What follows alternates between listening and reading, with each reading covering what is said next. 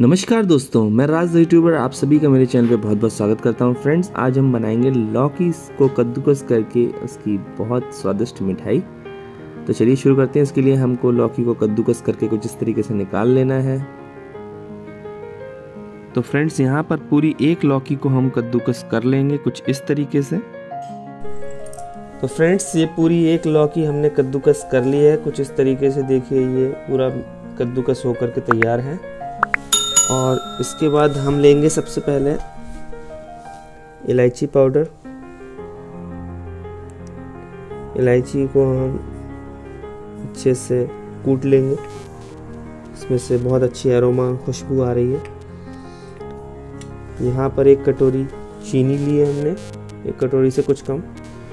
और आधी कटोरी यहाँ पर हमने मिल्क पाउडर लिया है। ये आप किसी भी ब्रांड का ले सकते हैं। मिल्क पाउडर और ये लिया है ग्राइंड करे हुए काजू, किशमिश और बादाम। ठीक है? और हमने यहाँ पे लिया है मिल्क आधा गिलास से कुछ ज़्यादा हमने ये लिया है मिल्क लिया है। इन सब चीज़ों की हमें ज़रूरत पड़ेगी लौकी की बर्फ़ी बनाने के लिए। तो चलिए शुरू कर तो फ्रेंड्स, अब हमने यहाँ पर हाई फ्लेम पर कढ़ाई को रख दिया है, देखिए। तो अब दोस्तों हम यहाँ पर ले रहे हैं देसी घी, एक चमचा। और इसको हम कढ़ाई में डाल देंगे हाई फ्लेम में, इसको गर्म होने देंगे। यहाँ पर दोस्तों हम लौकी को, जो कद्दूकस की है, उसको हम पूरा डाल देते हैं कढ़ाई के अंदर। पूरा कढ़ाई में हमने डाल दिया है कद्दूकस किया हुआ लौकी। अब हम करछली की मदद से इसको हम थोड़ा पलट पलट देंगे। अब हम इसको पाँच मिनट के लिए पकने देंगे और थोड़ी थोड़ी देर में बीच बीच में करछली की मदद से चलाते तो फ्रेंड्स देखिए लौकी का सारा पानी अब जल चुका है। अब हम इसमें मिल्क ऐड करेंगे। थोड़ा सा हम इसको चलाएँगे जब तक कि दूध जो है अच्छे से मिक्स ना हो जाए। तो फ्रेंड्स अब टाइम आ गया है कि हम इस डिश में चीनी डाल दें। तो इस तरीके से पूरी चीनी सब डाल देंगे। इसको चलाएँगे।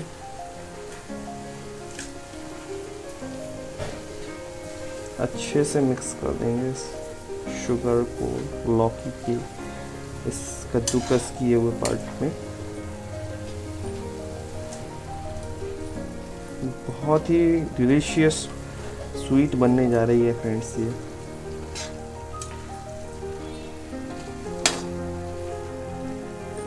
देखिए, कितने अच्छे से शुगर मेल्ट हो रही है। फ्रेंड्स अभी जैसे कि आप देख पा रहे हैं, इसमें बुलबुले छूट रहे हैं और इसका मतलब ये है कि लौकी जो है पानी छोड़ रही है और ज़्यादा चीनी के बाद मिक्स हो जाने के बाद। तो जब तक कि ये बुलबुले छूटना बंद नहीं होते हैं, तब तक हम इसको पकने देते हैं।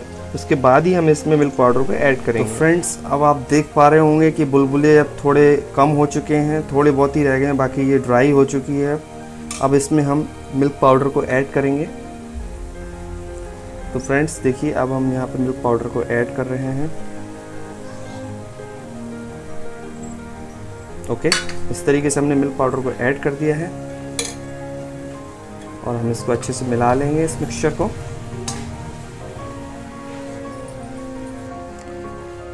तो देखिए फ्रेंड्स, इसमें आपको जो वाइट वाइट सा ये नज़र आ रहा है, ये ये मिल्क पाउडर ही है।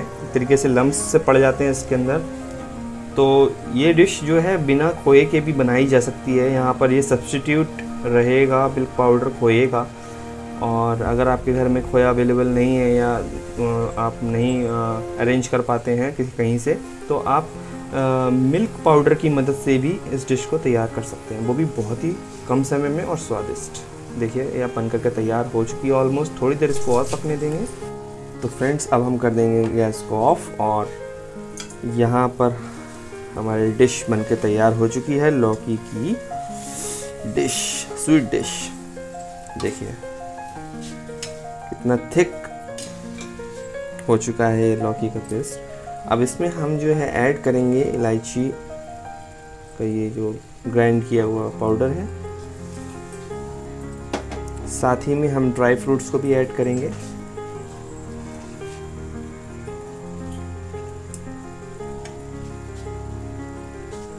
ओके फ्रेंड्स तो आप इसको थोड़ा सा हम चला लेंगे।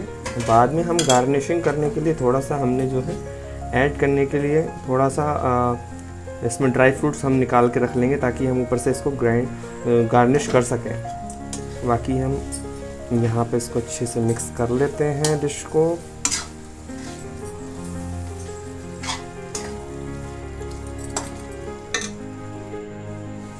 फ्रेंड्स यहाँ पर मैं बता दूँ, इस तरीके की कोई भी एक स्टील की प्लेट या कोई भी प्लेट आप लेंगे, उसमें हम थोड़ा सा ऑयलिंग पहले से कर लेंगे देसी घी की मदद से।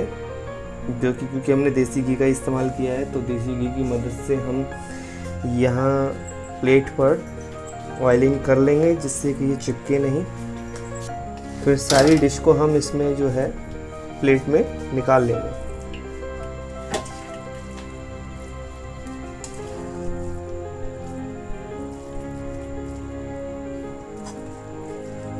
देखिए गर्मा गर्म डिश हमारी निकल के तैयार हो गई है, प्लेट में आ गई है।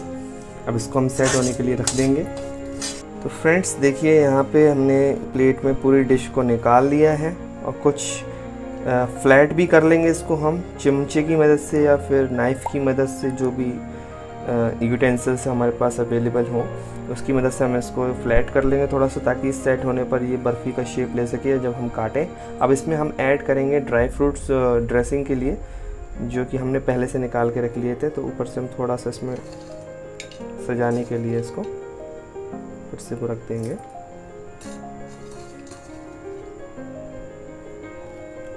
देखिए, ये गार्निशिंग हो रही है इसकी। तो देखिए, फ्रेंड्स, कितना अच्छा लग रहा है ये। देखने में तो फ्रेंड्स यहाँ पे लौकी की स्वीट डिश बहुत ही स्वादिष्ट, देखिए कितनी प्यारी लग रही है वो बनकर तैयार हो चुकी है।